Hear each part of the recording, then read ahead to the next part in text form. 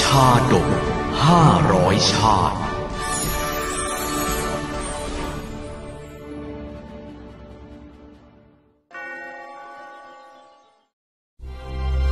อศาสตมนชาดก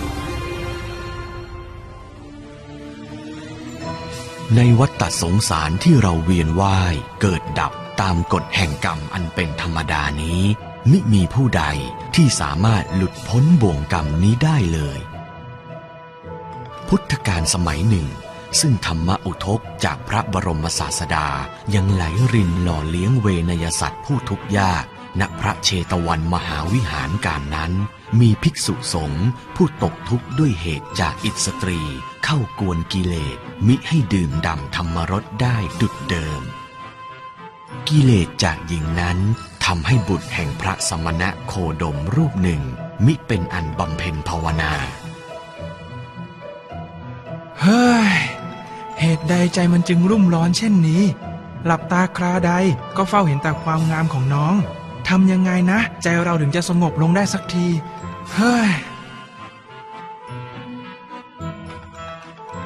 แม้ภิกษุรูปนี้จะเคยฟังเทศนาธรรมมิให้หลงไหลในกาม อันประกอบขึ้นด้วยรูปรสกลิ่นเสียงมาหลายครั้งหลายหน แต่มาถึงบัดนี้กลับหลงลืมไปหมดสิน้น ความเวทนานี้ประจักษ์ขึ้นในข่ายพระยานองค์จอมไตร ทรงปรารถนาให้พระภิกษุนั้น พ้นภัยจากวัฏสงสาร จึงกำหนดให้เข้าเฝ้าณพระคันธกุดี ดูก่อนภิกษุ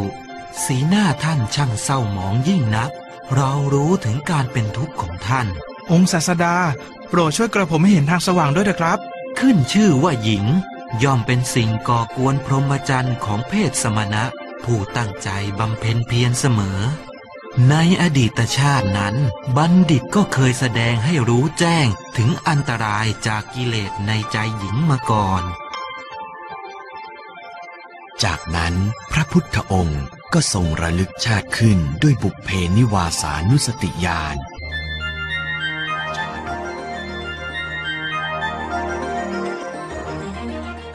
ายแดนแคว้นกาสีครั้งโน้น มีบุตรชายในครอบครัวพราหมณ์ผู้หนึ่ง เติบโตเป็นหนุ่มขึ้นท่ามกลางการดูแลอย่างหวงแหนจากผู้เป็นพ่อและแม่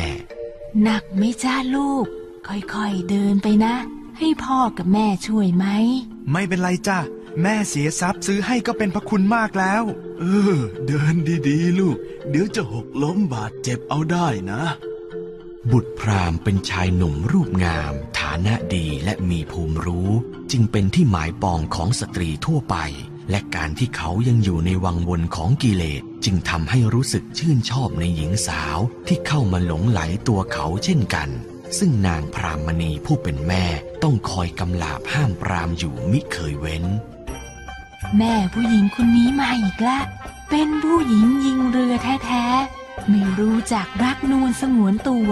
มาหาผู้ชายอยู่ได้ไม่เว้นวัน เข้าไปในบ้านเลยลูก อย่าไปเสวนากับแม่พวกนี้เลย ท่านแม่ แต่น้องนางคนนี้น่ารักดีนะ ลูกอยากคุยกับเธออ่าฮะดีจังวันนี้ไม่มีแม่มาคุม โปรยเสน่ห์ได้เต็มที่เลยเรา อุ๊ย มีผู้ชายหน้าตาดีมองมาทางเราด้วยอะแน่แน่ๆหรือว่าเขาแอบชอบเรานะ ผู้ชายอะไรก็ไม่รู้ ล้อหล่อสูงเท่บาดใจ คนนี้ก็สวย คนนั้นก็น่ารัก โอ้ย ไม่รู้จะเลือกใครดี เมื่อไหร่จะได้แต่งงานกับเขาสักทีฮ่าเกิดมาเป็นคนหน้าตาดีเนี่ย มันลำบากใจจริง ๆ แม้บุตรชายจะใคร่แต่งงานมีเย่ามีเรือนเพียงใด แต่พราหมณ์บิดามารดากลับไม่ให้การสนับสนุนเลย ท่านทั้งสอง อยากให้บุตรชายครองเพศบรรพชิตยิ่งกว่าสิ่งไหน ลูกรัก พรหมโลกอะ เป็นที่หมายสูงสุดของมนุษย์ทุกคน ที่นั่นน่ะ เป็นที่อยู่ของเทพยดาผู้บริสุทธิ์ เราอยากให้ลูกบำเพ็ญบารมี เอาดีทางธรรมนะลูก พ่อเองก็เห็นด้วยกับแม่ ธรรมะจะทำให้ลูกเห็นทางสว่างของชีวิต หลุดพ้นจากบ่วงกรรมได้ เมื่อบวชแล้ว พอสิ้นอายุไขจากโลกนี้ เจ้าก็จะได้ไปเกิดในพรหมโลกนะจ๊ะ เจ้าเชื่อแม่เธอ เปลี่ยนความคิดที่จะแต่งงานมาออกบวชเถอะนะ เป็นนักบวชแบบนี้เหรือท่านแม่ ลูกยังหนุ่มยังแน่น ขอลูกเอาดีทางโลกก่อนเถอะจ้ะอืม ดีเหมือนกัน หากเจ้าจะเอาดีทางโลก เพราะก่อนที่จะครองเรือน เจ้าต้องรอบรู้ศิลปศาสตร์ทางโลกก่อน เจ้าจึงจะเป็นสามีที่ดีได้ เมื่อท่านพ่อเห็นว่าควรเป็นแบบนั้น ข้าก็จะไปเรียนที่สำนักอาจารย์ที่สาปาโมก พ่อและแม่คิดเห็นเช่นไร พ่อกับแม่เห็นดีด้วย เจ้าไปเถอะ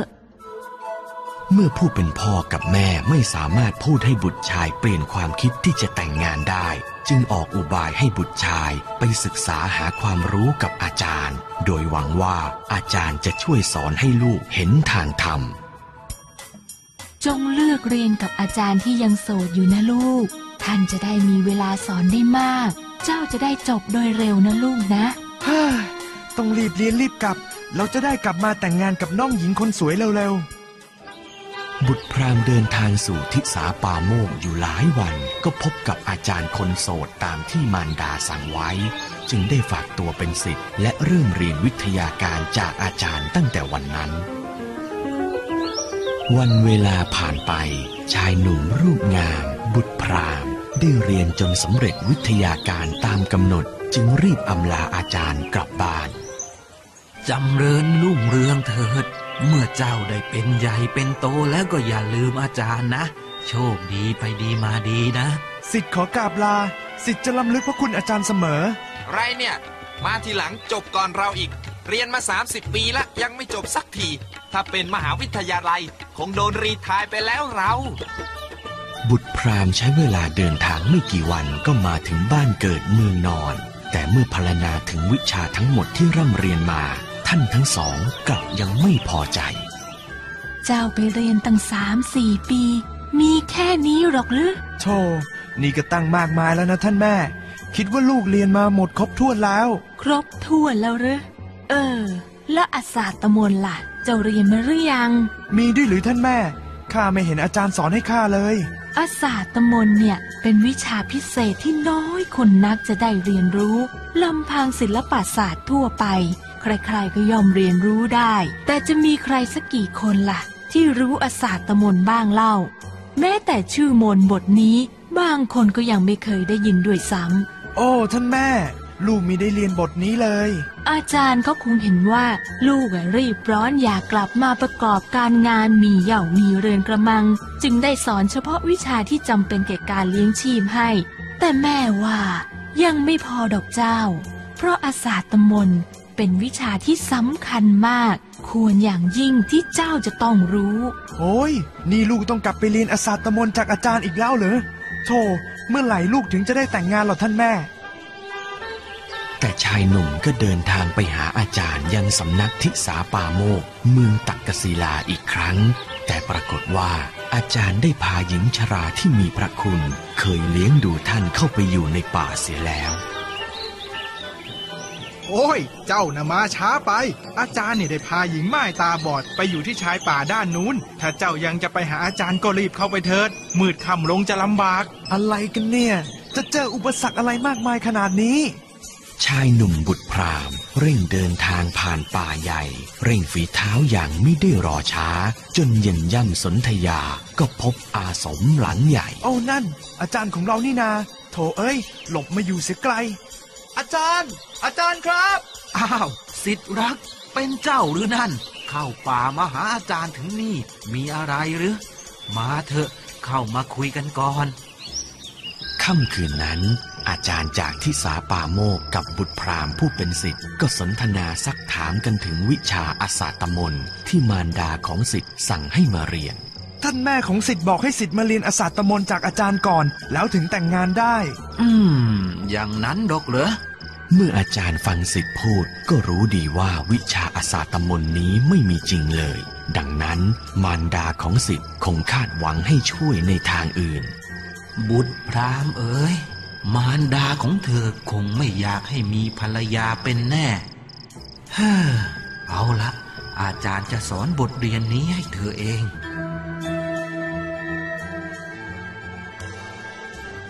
โอ้อาจารย์รู้จักวิชานี้ด้วยหรือ ดีใจจังเลย ท่านจะสอนวิชานี้ให้ข้าใช่ไหม ใช่ อาจารย์จะสอนวิชาอาสาตมนต์ให้ก็ได้ แต่เธอต้องดูแลหญิงไม้แทนอาจารย์นะ ครับอาจารย์แล้วข้าต้องทำอย่างไรบ้างล่ะ เจ้าต้องอาบน้ำถูนวดให้ท่านอย่าได้รังเกียจที่สำคัญ ขณะที่ปลนนิบัติเจ้าต้องพรรณนาความงามของท่านไปด้วยเสมอ เป็นการพูดปดทำไมข้าต้องพรรณนาความงามของหญิงแก่ด้วย ไม่เห็นเธอจะมีความงามหลงเหลืออยู่เลยสักนิด เอาเถอะนามันเป็นอีกวิธีหนึ่งที่จะใช้ปรนนิบัติหญิงผู้มีพระคุณของอาจารย์ เจ้าทำไปเถอะ นี่ไง หญิงผู้มีพระคุณของอาจารย์ เจ้าต้องดูแลนางอย่างดี แล้วอย่าลืมพรรณนาชมโฉมให้นางฟังด้วยนะ เห็นอย่างนี้แล้วข้าพรรณนาไม่ออกหรอกอาจารย์ เจ้าก็เยินยอไปสมัยอดีตที่ยังสาวของนางสิ ให้เกิดความหลงปลื้ม นางจะได้มีความสุข แล้วสังเกตด้วยว่านางมีกิริยาตอบมาว่าอย่างไร ต้องมาเล่าให้อาจารย์ฟังด้วยนะ ไหน เจ้าทดสอบให้อาจารย์ดูหน่อยสิ เออเออโอ คุณคุณแม่ขอรับ เมื่อสมัยคุณแม่ยังสาวคงสวยไม่น้อย ขนาดอายุมากแล้ว เขาความงามยังปรากฏ ดีมาก อย่างนี้แหละกกล่าวไว้ เออ เสียงหนุ่มที่ไหนมาชมแม่เนี่ย เสียงเจ้าช่างหนุ่มนวลน่าฟังจริงๆ เข้ามาใกล้ๆฉันหน่อยสิ ยิ่งดูใกล้ๆก็ยิ่งงาม หลังเอยแขนเอย ดูยังสวยไม่น่าเชื่อว่าคุณแม่ยังสดใสขนาดนี้ เออทุกวันนี้ คราใดที่ปรนนิบัติหญิงแก่ไม่ว่าจะตอนอาบน้ำหรือนวดเฟ้น ชายหนุ่มก็จะพรรณนาความงามของเธอให้ฟังมิได้ขาด ในที่สุดกิเลสก็เข้ากลุ่มจิตใจหญิงแก่ ให้เผลอรักใคร่ชายหนุ่มเข้าจนได้ ถ้าพูดจริงหรือพ่อหนุ่ม ฉันงามอย่างนั้นจริงๆเหรอฉันทนฟังคำหวานของเธอไม่ไหวอีกต่อไปแล้ว คุณแม่ใจเย็นๆก่อนนะครับฉันสวยถูกใจเธอใช่ไหมล่ะ เธอต้องการฉันอย่างนั้นใช่ไหมถ้าอย่างนั้นน่ะ เรามาอยู่กินกันที่นี่เลยเธอะโอ้ยไม่ได้หรอกครับคุณแม่ เดี๋ยวอาจารย์ต้องเอาตายแน่มันจะอยากอะไรล่ะพ่อหนุ่ม เราก็ฆ่าเขาให้ตายสักก็หมดเรื่อง แล้วเราก็อยู่กินกันสองคนอย่างมีความสุขๆผมทำไม่ได้หรอกคุณแม่ ท่านเป็นอาจารย์ของผม ถ้าเธอทำไม่ได้งั้นฉันจะเป็นคนฆ่าเขาเองที่ฉันทำไป ก็เพื่อเราสองคน เธอต้องร่วมมือกับฉันนะหญิงแก่ตาบอดผู้ถูกกิเลสลุ่มหลงครอบงำ คิดวางแผนฆ่าอาจารย์อย่างหน้ามืด โดยให้บุตรพราหมณ์ช่วยทำตามแผนของเธอ พ่อหนุ่มทำตามที่ฉันบอกแค่นั้นก็พอ ส่วนที่เหลือ เดี๋ยวฉันจะจัดการลงมือฆ่าเขาเองเฮ้ยหญิงแก่ช่างโหดเหี้ยมยิ่งนัก